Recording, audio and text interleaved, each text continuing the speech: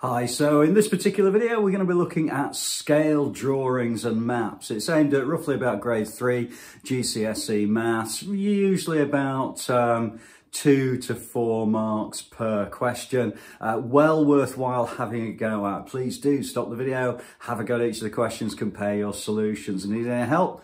Always add a comment, always come back to you. I look forward to seeing you inside the video.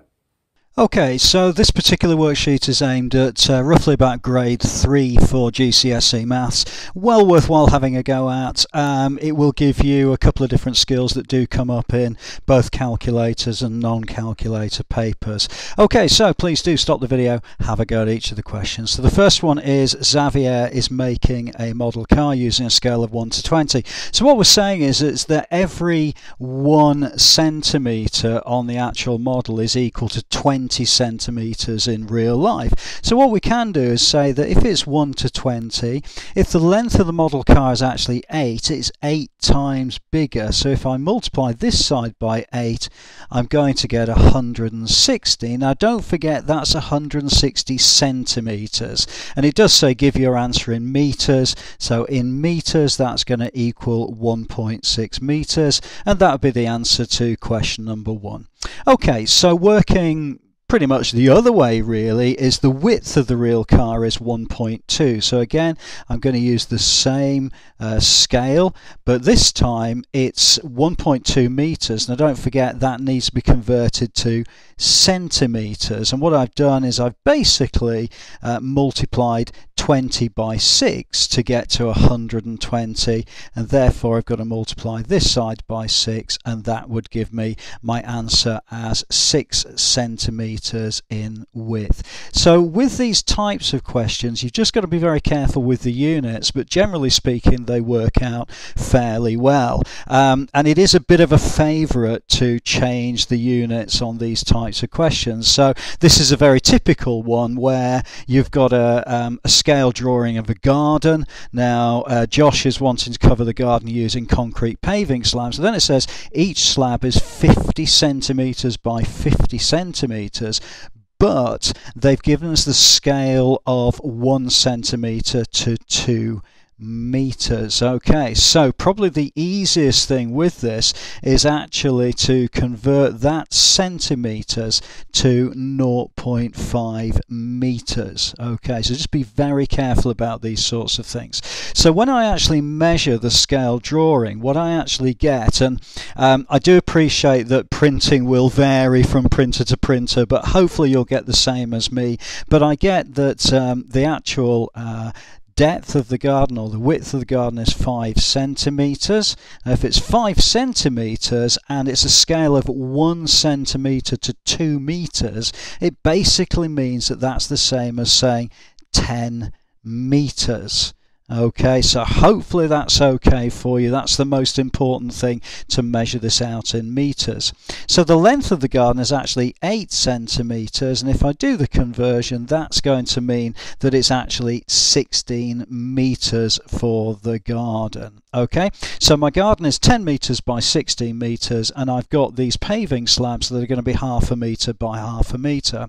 So if you can imagine, if I have 16 meters and I want to put paving slabs along here, each one is half a metre in width, then I'm actually going to need 32 paving slabs along this particular length here.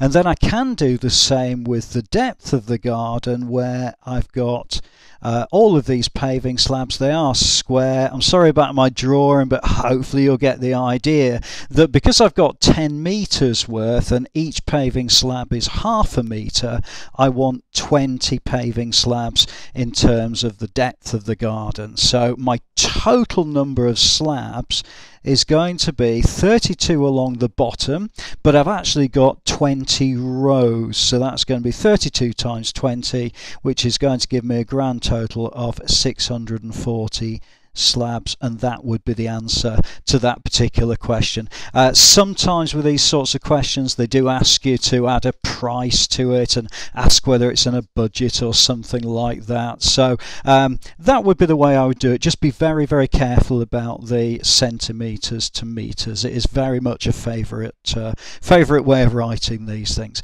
Okay let's move on then to question number three. Please do stop the video and have a go at each of these questions. So a map has a scale factor of 1 to uh, 40,000.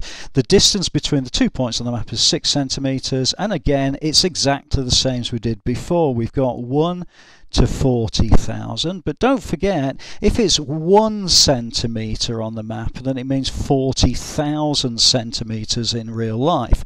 So therefore, if it's 6 centimetres, I've multiplied that by 6. If I multiply that side by 6, I'm going to get the grand total of 240,000 centimetres. Now, you'll notice it says give the answer in kilometres. So that's what I need to do now. I need to then divide through by a hundred would give me 2,400 meters and then divide through by a thousand will give me 2.4 kilometers. So I suggest that you kind of work it like that really that uh, to go from centimeters to meters what you're going to do is divide by a hundred because there are a hundred centimeters in a meter and then to go from meters to kilometers you're going to divide divide through by a thousand because there are a thousand meters in a kilometer. Okay, so let's look at number four. Now this might be a little bit tricky on this particular screen. I'll do my best for you. So it says the accurate uh, scale drawing shows a lighthouse and small boat. The small boat has a real height of six centimeters. Okay, well if it's got a real height of uh, sorry, beg pardon, six meters, find an estimate for the real height of the lighthouse. So what we're basically saying is if we look at the small boat here, in real life, it's got a height of six meters. Um, however, so that's, that's just at the bottom there, six meters. Okay, so however, um, in terms of the actual drawing, it's actually 1.5 centimeters. So if we say that the small boat equals 1.5 centimeters, which equals 6 meters. Okay, so therefore, one centimeter of height is going to equal to 6 divided by 1.5 which is going to equal 4 meters. Okay so hopefully that's okay for you. I'm looking at finding a way to figure out how tall the lighthouse is. Um, what I need to know is how many meters it is per centimetre. And then when I work out the length of the actual, or the, the height of the actual lighthouse, that's actually now 11 centimetres. So the lighthouse equals 11 centimetres, and I know per centimetre it's going to be 4 metres, so therefore 44 metres height, which is the answer to this particular question. Okay, hopefully that's okay for you. I'm sorry it didn't come across particularly well on the screen with the uh, with the picture of the lighthouse, but if you do print off the worksheet, hopefully it'll come across a little bit better for you. Okay, so let's move on then to question number five. We're very roughly halfway through this particular worksheet. Uh, they do get a little bit trickier towards the end, but not too bad really. So a model ship has a length of 15 centimeters and then we're using a scale of 1 to 450. Okay, and we're being asked to work out length of the real ship given the answer in meters. So it's a very similar sort of thing that we did before. So if we have a look at that, I've got um, 1 to 450 is my scale. It's actually 15 centimeters model, so I've multiplied that by 15. I need to multiply this side by 15, and that's going to give me 6750. And don't forget that centimeters. Now I need to then change that to meters in order to answer the question, which is dividing through by 100 because there are 100 centimeters in a meter, so it's actually going to give me 67.5 meters for the length of that particular ship. Okay, hopefully that's all right for you. Okay, so on to question number six. So this is one where we've got uh, a map. Map drawings is very popular, these sorts of questions. So the map is drawn to a scale of 1 to 500,000. So basically, when we measure on the map the actual distance in, say, centimetres, that will be equivalent to the same centimetres when we actually have real life. However, it is asking us to give the answer in kilometres, so we need to do that translation. Okay, so um, John is driving from Simons Town to Deacons Hill, okay, and it says how far is the real distance. Well, if we measure it on um, your map, you should get a distance of 3.5 centimeters. Okay, so if the map distance is 3.5, then we need to use the scale factor to change that to the amount of centimetres there are actually on the ground. So therefore it's 1 to 500,000. I've multiplied that by 3.5 so therefore I'm going to multiply this by 3.5 and that's going to give me 3.5 is equivalent to 1 seven, five, and then four zeros afterwards. So it's 1.75 million centimeters. Okay, so um, that therefore needs to be changed then to kilometers. So there are 100 centimeters in a meter. So if I divide by 100 by moving the decimal point, that's going to give me 17,500 meters and then it asks for the answer to be given in kilometers so I'm going to divide by a thousand move the decimal point three places and that's going to give me 17.5 kilometers which is the answer to part A okay then it says in part B calculate the total distance that John drives. Well he's going to go from Simons Town to Deacons Hill and then from Deacons Hill through to Carrie Beck. Okay so from Deacon Hill to Carrie Beck, it is actually an additional distance on the map of 3 centimeters. So we've already got the first part of the journey. The second part of the journey is going to be Deacon Hill to Carrie Beck. We need to work that one out. So just for the purposes of the video, um, if I uh, just write on here that um, Simons Town to Deacon Hill is going to be, as we've already worked out, 17.5 kilometres. But the final one is going to be Deacons Hill,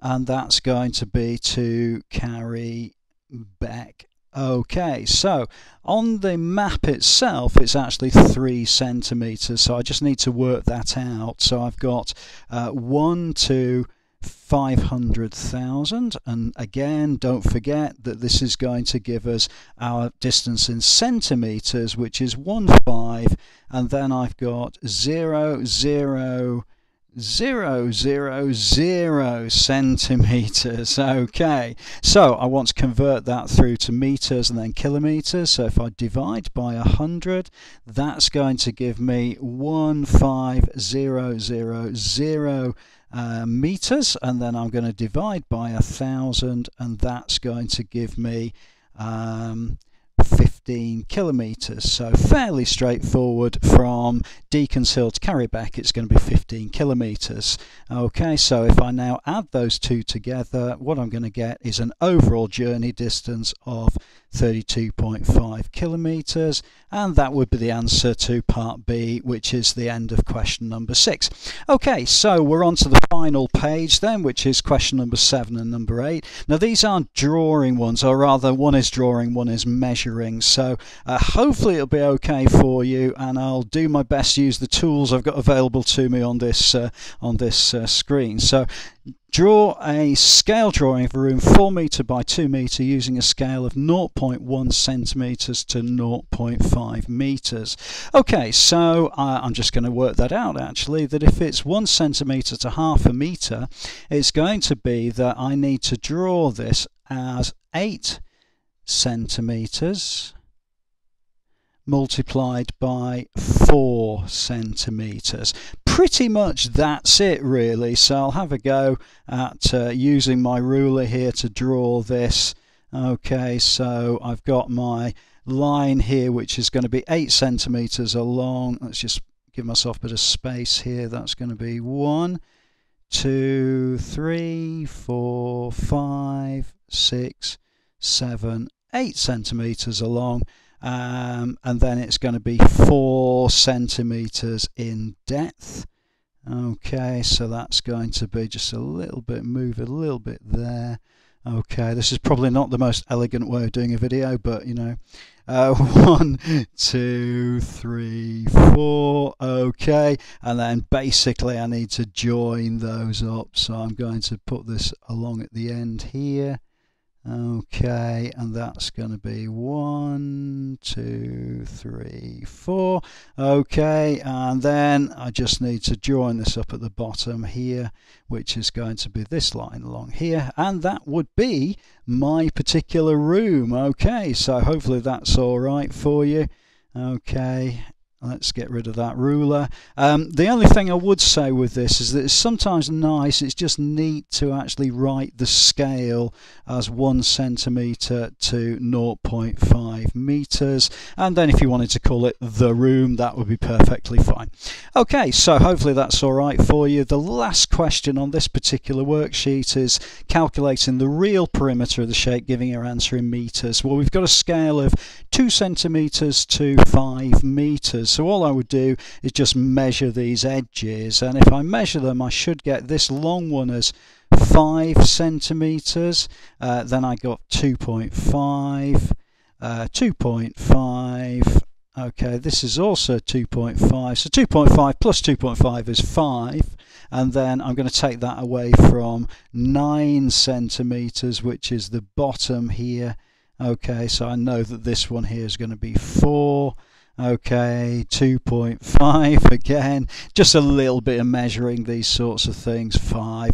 And as you know, all we're looking for for the total perimeter is the outside edge. So if I just write that as, um, if I write it in here, the total, Okay, now I'll try to write it all out in centimeters. So what I'm going to do is I'm just going to start from this point here. So just start from the top left hand side and then I'm going to say, well that's the same as saying 2.5 plus 2.5 plus 4 plus 2.5 plus 2.5 plus 5 plus 9 plus 5. Okay, and when I add all of that together, I'm going to get 33 centimeters. Now, don't forget, we need to use the scale, and what we're told is that every 2 centimeters, um, that's equivalent to 5 uh, meters. So if I want to find out how many centimeters or how many meters there are altogether. I'm going to use the scale of 2 to 5 but actually it's going to be 33 so in other words what I've done is I've multiplied that by 16.5 and I need to multiply this side by 16.5 and that's going to give me a meterage of 82.5 meters so it's exactly the same principle that we've been doing before is we're just multiplying both sides of the scale factor and that would be worth three marks to you Okay, so I hope that particular worksheet was useful. Please do add a comment if you're not sure about anything. I'll always come back to you. Subscribe to the channel, like the video, share, and anything else. And I look forward to seeing you inside the video. Next one. Yes, that's right.